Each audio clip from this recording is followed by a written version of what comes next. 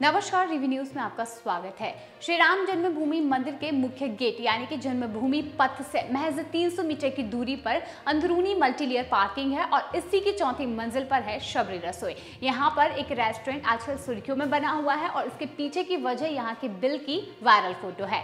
Bill में एक चाय की कीमत पचपन रुपए तो टोस्ट की कीमत पैंसठ रुपए दर्शाई गई है। पूरे मामले की पड़ताल की और सच सामने आने के बाद अयोध्या विकास प्राधिकरण ने सबरी रसोई को नोटिस भेजकर स्पष्टीकरण स्पष्टीकरण मांगा है।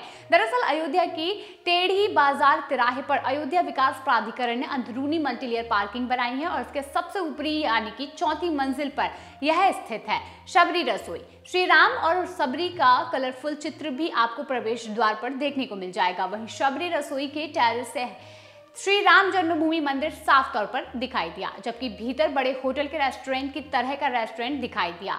वहीं भीतर पहुँचने पर सच जानने के लिए जब वहाँ पर दो चाय का ऑर्डर दिया तो वहाँ पर दो चाय और टोस्ट का ऑर्डर दिया, लेकिन वेटर ने कहा कि टोस्ट नहीं है, चाय लाता हूँ। चाय समाप्त करने के बाद जब उससे बिल मांगा गया तो उसने प्रिंटेड बिल की जगह पर कागज़ पर लिखा हुआ बिल थमा दिया। और इस बिल में पचपन रुपए के हिसाब से 110 रुपए दो चाय के दाम लिखे हुए थे।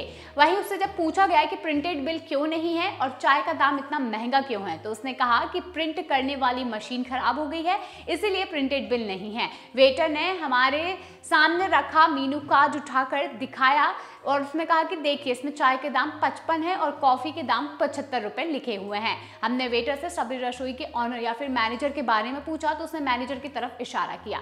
जब मैनेजर के पास पहुँचे तो प्रबंध तंत्र से जुड़े लोग भी मिल गए। उसमें से एक ने अपना नाम चंदन बताते हुए शबरी रसोई का व्यवस्थापक बताया और जब उन्होंने हमें समझाने की कोशिश की कि चाय और टोस्ट के दाम के साथ उन्हें व्यंजकों के दाम क्यों अधिक हैं तो हमने उससे सीधा पूछा कि एक चाय के दाम पचपन रुपए क्यों रखा गया है? वह भी इस अयोध्या में जहाँ पर अधिक दर्शनार्थी आते हैं। जिसके बाद उन्होंने इसका कोई भी उचित जवाब नहीं दिया, जिसके बाद शक और भी ज़्यादा बढ़ गया। अब देखना यह होगा कि आगे इस पूरे मामले में क्या पड़ताल होती है।